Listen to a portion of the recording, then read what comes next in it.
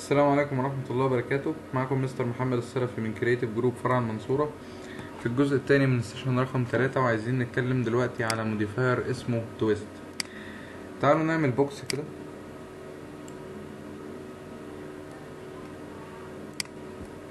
بالمنظر ده وهشيل ال segments بتاعي دي. وهروح لقائمة Modify وأروح أفتح ال modifier list بتاعي. بدوس حرف ال T وادور على modifier اسمه Twist. أول لما تحط ال modifier هتلاقي شكل ال gizmo بتاعك نزل بالمنظر اللي إحنا متعودين عليه ده. وال Twist هو بيعمل إيه؟ بيلف الكتلة حوالين نفسها أو بيعمل لها عملية عصر. إزاي؟ لو أنا زودت ال angle بتاع ال Twist بالمنظر ده هتلاقي إن هو بيلف لك الكتلة.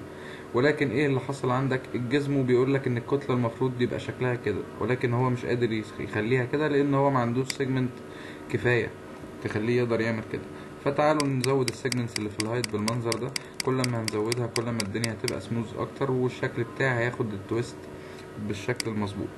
تمام؟ يبقى أول parameter عندي هنا اللي هو ال angle لو أنا زودته كده هتلاقيه بيزود ال Twist بتاعي بالمنظر اللي إحنا شايفينه ده. طيب. في parameter هنا اسمه ال bias وال bias ده لو أنا شديته لفوق بالموجب كده هتلاقي إن هو بيقلل لي التأثير بتاع ال Twist بتاعي من تحت وبيزوده كل ما بنطلع لفوق. لو أنت خليت ال bias ده بالسالب كده هتلاقيه بيعمل العكس إن هو بيبقى ال Twist تأثيره تحت قوي وكل ما بتطلع فوق كل ما تأثيره بيبقى أخف. يعني لو احتاجنا حاجة زي كده. في عندي هنا ال Twist axis بتاعي وهو by default على ال Z معناها إن هو مسك محور ال Z ونفذ عليه ال Twist. طبعا لو أنا خليته Y كده هينفذه على ال Y ولو خليته X هينفذه على ال X بالمنظر ده. بس طبعا الوضع المناسب لل box إحنا عاملينه إن هو ال Twist يتنفذ عليه في وضع ال Z. طيب. ال limits اللي إحنا متعودين عليها لو أنا فعلت ال limit effect كده هتلاقي طبعا شكل ال Twist باظ. ده بسبب إن ال upper limit وال lower limit بصفر. لو أنا مسكت ال upper limit وطلعته لفوق كده هتلاقيه بيعمل لي التأثير بتاع ال Twist بتاعي لغاية ال upper limit بتاعي وبعد كده بيطلع straight زي ما هو من غير Twist. طيب لو مسكت ال lower limit بتاعي وقمت جاي شده لفوق كده هتلاقي إن نفس الكلام اللي أنا متعود عليه التأثير بت... بتاع ال Twist بتاعي حاصل فين؟ ما بين ال limits بتاعي اللي هو ال lower limit اللي تحت هنا اللي لونه برتقاني ده وال upper limit اللي هو اللي لونه برتقاني فوق هنا ده. إنما من تحته ومن فوقه هو ماشي straight زي ما هو. طيب ال Twist ده أنا ممكن أستخدمه استخدام تاني؟ يعني أنا ممكن مثلا أمسح ال box ده دلوقتي وأقول له أنا عايزك تعمل لي هنا سلندر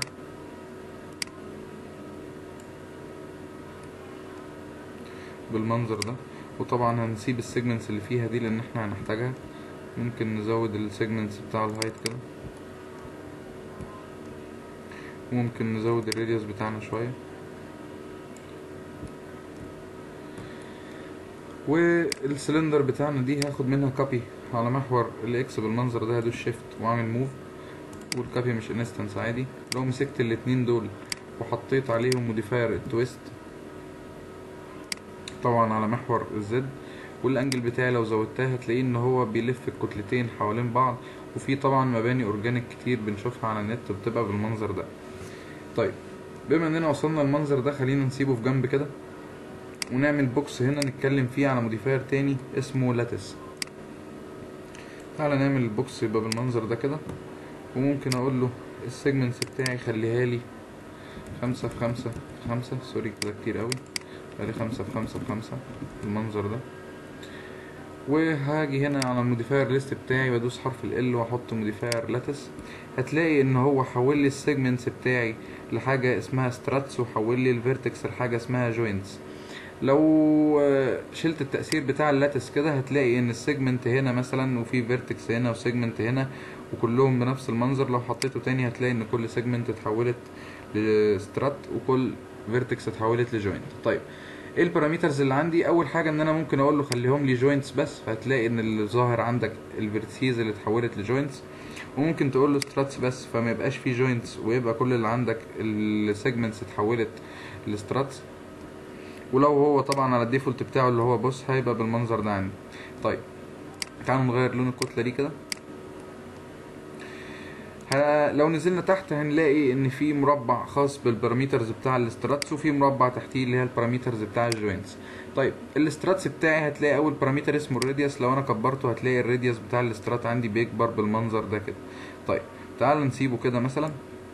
هتلاقي عندك هنا في parameter اسمه segment وال segment ده لو أنت زودته هتلاقيه بيحط لك segments عرضية بالمنظر ده كده بهدف إن أنت لو لو محتاجها في ال modeling بتاعك يعني بعد كده لهدف ما فتعالى نقللهم لأن إحنا مش محتاجينهم دلوقتي. ولو زودنا ال sides بتاعنا هتلاقي إن أنت كل ما تزود ال sides بتاعك كل ما هتبقى الدنيا curvy أكتر بالمنظر ده.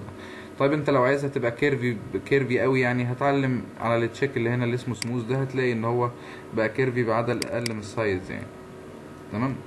طيب ال material ID طبعا هنفهمها لما ناخد ال multi sub object في ال materials. هتلاقي في check هنا اسمه end caps وإحنا عارفين إن ال caps عندنا في ال Max أي cap يبقى هو بيتكلم على فتحة هيسدها. لو أنا قلت له end cap كده خدوا بالكم من الفتحات اللي هنا دي لو قلت له end cap هتلاقيه سد لي الفتحات بتاعي بالمنظر ده. طيب تعالى نشيل ال end cap ده وتعالى نقلل ال radius ده كده شوية مثلا. تمام؟ لو نزلت تحت هتلاقي المربع بتاع ال joints في إيه بقى مربع ال joints برضو هتلاقي إن في radius اللي هو انت لو زودته كده هتلاقي حجم ال joint عندك بيزيد. في بقى ثلاث حاجات فوق اللي هو ال tetra وال octa وال... وال icosa ده. لو أنا غيرت ال octa ده خليته tetra هتلاقي شكل ال joints بتاعي اتغير بالمنظر ده. لو رجعت octa هيرجع كده تاني والشكل التالت ده اللي هو بالمنظر ده. طيب ال radius بتاعي قلنا لو أنا زودته هتلاقي الحجم بتاع ال joints بتاعك كبر. هتلاقي ال segments دي لو أنت زودتها كده هتلاقي إن أنت في الآخر كل ما هتزودها بتحاول إن أنت تعمل sphere. تمام؟ وممكن بعدد أقل. تعمل check على سموز هنا. يبقى أنت خلاص كده عملت ال spheres بتاعك. طيب كده ال parameters بتاع ال lattice خلصت. تعالوا نمسح بقى ال box ده.